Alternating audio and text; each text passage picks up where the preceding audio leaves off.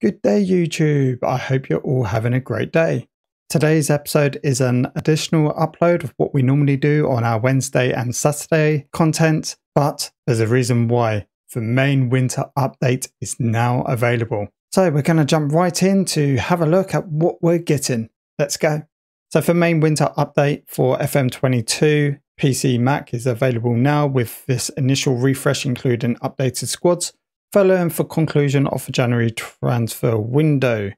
The main winter updates is also now live for FM22, Xbox, mobile, and touch. What have they done? More than 4.4 million database changes are incorporated within the main winter update, including changes to player data based on their performance in the first half of the season. Oh, okay, I didn't actually realize they did this. I literally thought the main winter update was all about for transfers um, and not about for stats. So they've even changed some stats around to kind of incorporate how they've done in the first half of the season.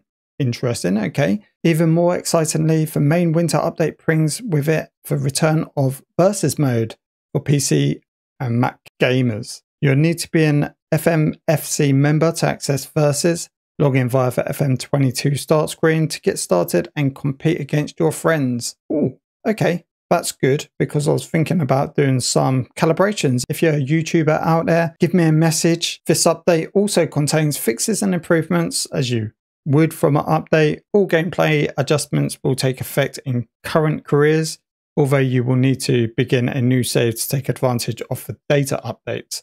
Okay, so we got our Sheffield Wednesday and Barcelona save. I guess once we've maybe if we finish the season, see where we're at. If we're bored of it, I would probably start a new save, but not at the moment. I mean, I've got quite a few things going on uh, within the last update. For 22.3 update included, but are not limited to. So tweaks to inside wingers, forwards, and how often the cut inside for ball when attacking. So what does that mean? Have they increased that?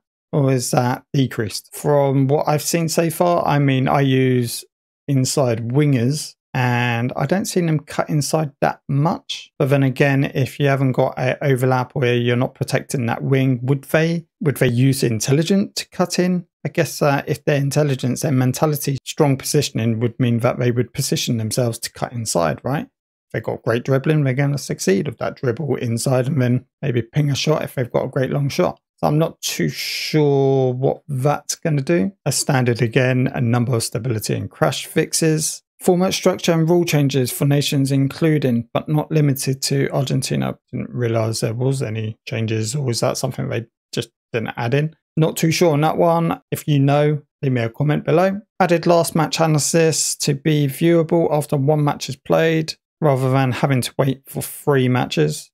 Okay, again, I thought that I could analyze my last match.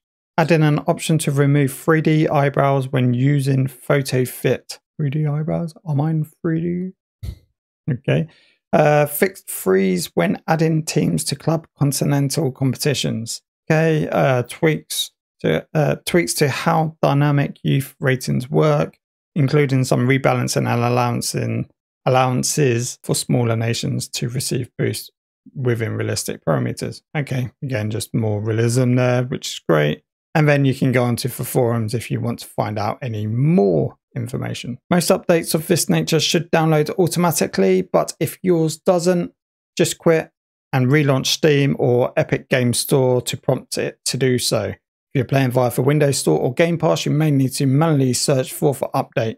More information is available here. We'll go on to that in a second because I've got the uh, Game Pass version. The final winter update follows in a few weeks, covering data from Windows that closed in February. Okay, so that's MLS China. So they're going to do a little top up. Okay, let's go into available here. What's this? Get updates for games and uh, for apps and games in Microsoft Store. Okay, just so again, just how we uh, downloaded and installed the Game Pass editor for Game Pass. If you don't know how to do that, go check out my link above. I might actually do that now. Store, because it's available now, right? Uh, apps. Okay, I feel like library. Okay, so I've just checked Microsoft Store and it's only showing me for editor as expected because that's where I downloaded it. So I don't know why the game would be there for an update. And here, here you go. Look, so it's it's updating. If we click on it and then you just press update. That's it.